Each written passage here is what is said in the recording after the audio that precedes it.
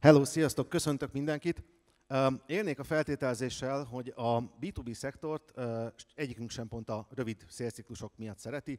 Ez eddig is egy borzasztó nyúlós dolog volt, de az utóbbi időben felütötte a fejét egy jelenség, ami miatt ez még nehezebb lett.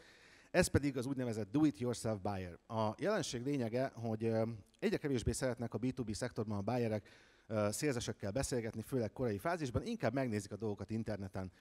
Egy átlagos B2B buyer Amerikában például 12 tartalmat néz meg, mielőtt a sales team egyáltalán látná, és nagyjából 80% van rá, hogy van milyen mélyebb industry reportot vagy case study is megnézett.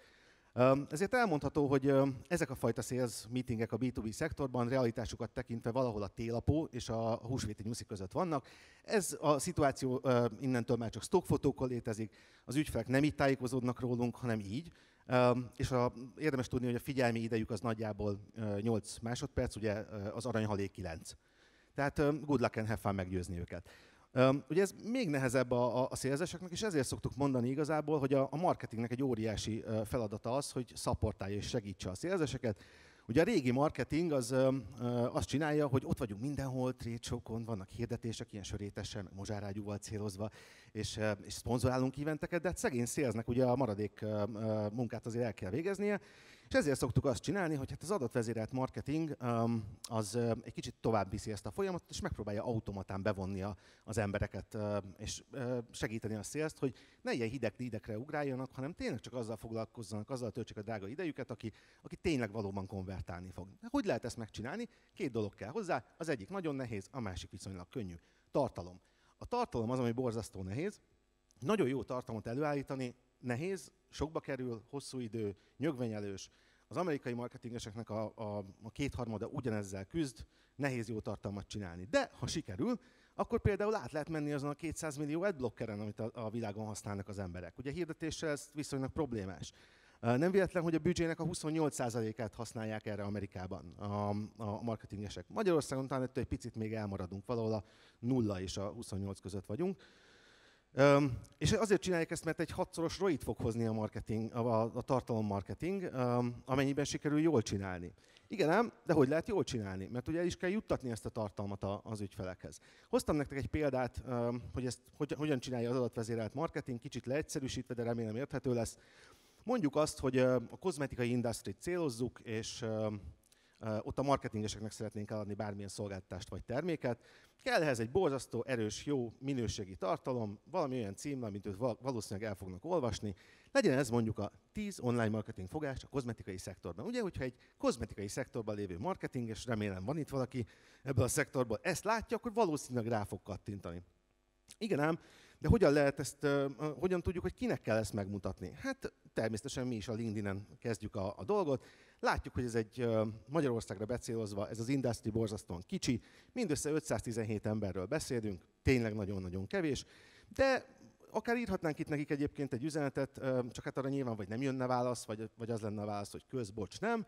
Úgyhogy az adatvezérelt marketing ezt egy picit máshogy csinálja, mi imádjuk a listákat, ezért egy Cellhack nevű eszközzel fogjuk és leszedjük ezt a, a listát, és, és akkor van egy ilyen listánk, amit utána föl tudunk tolni más eszközökbe, és egyéb adatokhoz juthatunk. Ilyenkor szoktuk például szabadjára engedni a kacsát. A kacsa, a kacsa az egy Duck Soup nevű eszköz, ami azt tudja csinálni, hogy ha én kiválasztom ezeket a profilokat és föltöltöm, akkor automatán meglátogatja az összes profilt. Olyan, mintha én látogatnám meg őket, de valójában ezt egy, egy eszköz teszi, én meg közben dolgozhatok máson. Ami történni fog, hogy a LinkedIn-en ugye mindannyian, mindannyian szeretjük megnézni azt, hogy hú, kinézte meg a profilunkat, az olyan érdekes, miből lesz biznisz. Úgyhogy ezek az emberek általában megnézik az én profilomat is, és akkor itt már egyszer találkoznak velünk. De igazából mi ezt nem ezért csináljuk. Végig megyünk ugye ezen a folyamaton, de igazából amiért ezt csináljuk, mert a kacsa olyan előzékeny velünk, hogy amikor ez, ezeket a látogatásokat megcsinálja, akkor megkérdezi, hogy szeretnénk-e a LinkedIn-en felejtett e-mail címeket esetleg kiexportálni a listánkba, magán e-mail címeket. Ugye az emberek nem egy munkahelyen töltik ma már az életüket, amikor eljönnek az egyikről, akkor beírják a magán e-mail címüket, kezdenek a következő helyen, akkor LinkedIn, bocsánat, le van szarva három hétig, tehát ott hagyják a magán e-mail címünket, és hát lesz magán e-mail címünk tőlük. Ami csodálatos, mert ha van magán e-mail címünk ehhez az 517 emberhez, akkor tulajdonképpen a tartalmunkat oda is tudjuk tolni nekik, akármilyen display hirdetésen, itt például egy Facebook Custom Audience-be. Pont nekik. Nem nagyon foglalkozunk buyer personákkal, megcélozzuk pont azt a 517 embert, akinek szükségünk van. Buyer persona az egy csomó kreativitás kell. Az adatvezérelt marketingesteknek ilyen nincsen. Mi a listákat szeretjük. És miután az emberek eljönnek az oldalunkra, akkor kezd izgalmassá válni a dolog, mert hogyha tetszett nekik a cikk, akkor ott vannak gombok, meg képek, meg linkek, és ezekre elkezdenek kattingatni. És hát nem akarok úgy fogalmazni, hogy onnantól a lelkük az enyém, de mondjuk úgy, hogy rengeteg adatot letárolunk róluk, és a kellő, kellő mennyiségű látogatás után igazából a vércsoporton és az édesanyjuk nevén kívül bármit megmondok róluk. Ugye az az érdekes, hogy nagyon sok ember jön az oldalra, és nagyon sokan kattingatnak össze-vissza, akkor ilyen mikroelköteleződési mintázatokat lehet létrehozni. Meg tudjuk mondani, hogy ki milyen gombot nyom, és milyen szekvenciában kell különböző tartalmakat néznie, gombokat nyomnia, videókat néznie, ahhoz, hogy utána konvertáljon. Ez az, ahogy én mikroelköteleződéseket rajzoltam. Egyébként ültem fölötte egy 20 percet, hogy na akkor most rajzolunk egy mikroelköteleződést. Kicsit úgy éreztem magam, mint az Activity-nél. Activity Hardcore. Aztán ez lett belőle. Ilyen mintázatok vannak, és meg tudjuk mondani, hogy, hogy amikor oda jönnek az oldalunkra, akkor, akkor mit kell csinálniuk. Van például a Seven Blogon egy olyan felismerésünk, elkezdtek minket megkeresni az emberek, és akkor azt mondtuk egy idő után, hogy hát ha a méréstechnika jól van összerakva, akkor nézzük meg, hogy mi jellemző azokra, akik megkerestek minket. És azt láttuk, hogy rájuk az jellemző, hogy hármas page per sessionük van. Azaz egy látogatás alkalmával három oldalt néznek meg. Mi következik ebből? Azoknak, akik nincsenek hármas page per session értéken, egyébként nem egy mutatót mérünk nyilván, hanem 8-10-et, és az egyszerűség kedvéért hoztam ezt példaként, abban az esetben, hogyha valaki nincs hármas page per session alatt, nem is mutatom meg neki a sales oldalát. Ő vagy nem akar vásárolni, vagy nem kész rá, vagy nem tud, vagy nem, akármi. Ő csak olvasgassa a mi cikkeinket. 2018-ban is kell ügyfél, majd. Aki viszont hármas page per session fölött van, ott két lehetőség van. Vagy megkeresett minket, és neki nagyon örülünk, és elkezdünk fel tárgyalni. Vagy pedig az történik, hogyha nem keresett meg minket, akkor be tudjuk tolni ezt az információt egy CRM rendszerbe, ami csilingel egy szélzesnek, hogy hé, itt van egy meleg lead. Ezeket tudjuk róla. Három hónapja látogatja az oldalunkat, pontosan tudjuk, hogy honnan pattant vissza, hova kattintott, hol töltött 8 percet, ezt szereti, ezt nem szereti, ezt akarja tudni, az ár nem érdekli, de a szállítási határidők érdekli, bármit. A szélzeseknek nyilván ez egy óriási információ, hogy, hogy ki az, aki tényleg vásárolni akar. Az egyik ügyfelünknél egyébként ahol egy, ehhez nagyon hasonló rendszert bevezettünk, a szélzesek csináltak egy, egy számlálót, egy épp most akartam számlálót. Az épp most akartam számlálót azért hívták így, mert amikor az adott mintázat alapján felhívták ezeket a meleg dídeket, akkor nagyon gyakran az volt a válasz, akár e-mailben, akár telefonon, hogy jaj, de jó, hogy hívsz, épp most akartam hívni titeket, írni nektek, stb. Tehát ez tényleg működik, föl lehet, föl lehet melegíteni ezeket a lídeket, és amit én, én nagyon-nagyon szeretek ebben, hogy igazából ez az egész automatán történik. Tehát az adatvezérelt marketingesek vérlusták, de tényleg. Ha amit lehet automatizálni, azt mi automatizálunk. Ha meggondoljátok, az egész folyamat úgy történt, hogy egyetlen egy szélszhívást sem kezdeményeztünk. Nem zavartunk senkit.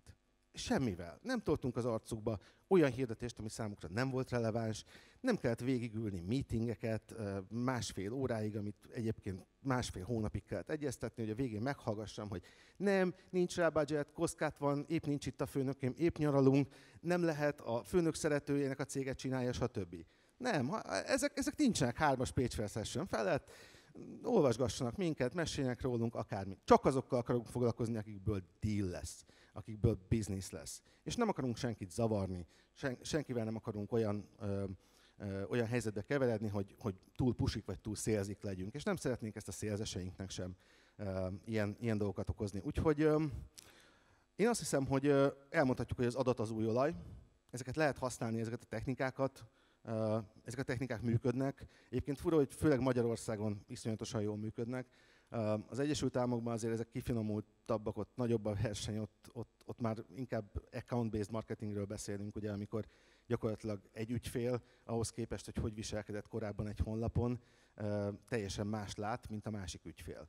Tehát, hogy gyakorlatilag személyre szabott honlapok vannak. Magyarországon ettől szerintem még távolabb vagyunk, itt ez még nem éri meg, de, de azt gondolom, hogy óriási piaci előnyt lehet azzal szerezni, hogyha ha valaki ezeket az adatokat elkezdi mérni, ha helyesek a mérései, és a sales teamjét főleg nem arra használja, azt gondolom, hogy ma már Magyarországon se olcsó a sales. Tehát egyre inkább itt is versenyezni kell a jó szélzesekért, arról nem beszélve, hogy senki nem szeret hideg lídekre ugrálni. Gondolom van egy, egy halom szélzes, biztos, hogy, hogy el tudják mondani, hogy ezek a, ezek a hosszú szélsziklusok, ezek nem feltétlenül azok, meg a hideg lédek, amik úgy emberileg is jó, jó érzés. Tehát hideg lédekkel senki nem szeret foglalkozni. Úgyhogy ezekkel a dolgokkal föl lehet melegíteni ezeket a, a, a lídeket, és lehet ezeket a technikákat használni. Nagyjából 6-9 hónap alatt egy ilyen rendszert egy kisebb cégnél föl lehet építeni. Minden persze a bonyolultságtól függ.